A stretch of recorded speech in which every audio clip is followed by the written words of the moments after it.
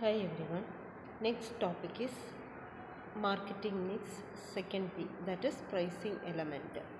As discussed earlier, marketing is exchanges of goods or services for a value. The value is the money paid to purchase a product. This money represents the sum of values that consumers exchange for the benefit of having or using the product or services and is referred to as price of the product. Price may be defined as the amount of money paid by buyer to the seller in consideration of the purchase of product or service. Channels of companies need to be very careful while fixing the pricing for their products or services due to the following reasons no product or service can be launched without a price tag price regulate the demands of a product increase the price leads to decrease in demand and vice versa. Price is used an effective competitive weapon. Price affect the revenues and profits of the firm. Factors affecting price determination.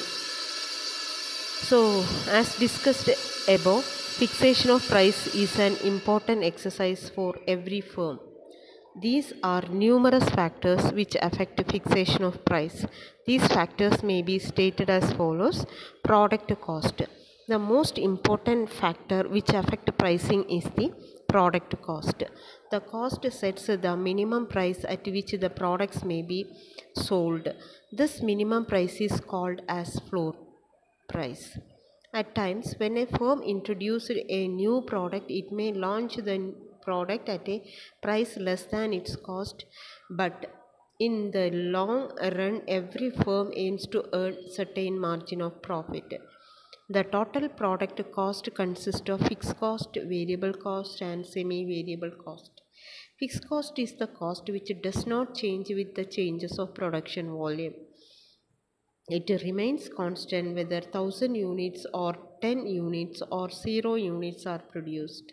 Examples of fixed cost are rent, salaries, etc. Variable cost next uh, variable cost is the cost which changes with the changes in the production level it is directly uh, proportional to the level of production therefore variable cost will be incurred only if um, there is production if there is no production, there will not be any variable cost. Examples of variable cost are raw material, petrol expense, labor cost, etc. Semi variable cost. Semi variable cost, on the other hand, which is the cost which varies with the level of production activity, but uh, it is not directly uh, proportional to the production activity. Examples of semi variable cost uh, cost are telephone expenses, salesman incentives, etc. The unity, utility and demand.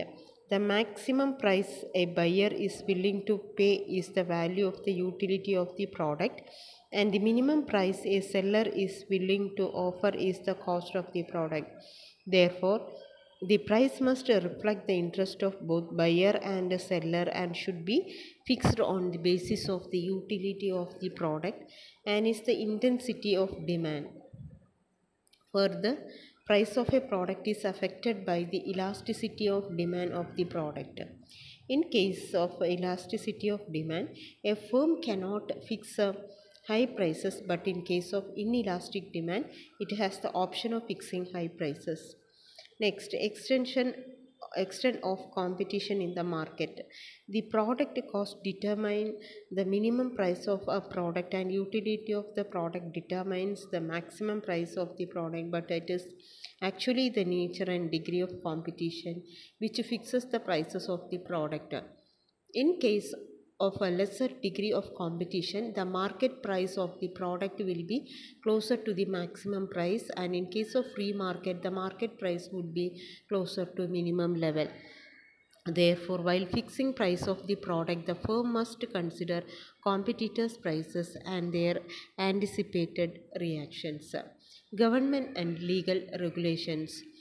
Government may uh, intervene or regulate prices by declaring a product as essential product to protect the interest of the society at large. Therefore, a firm has to fix price of its product within the rules and uh, regulations stated by the government.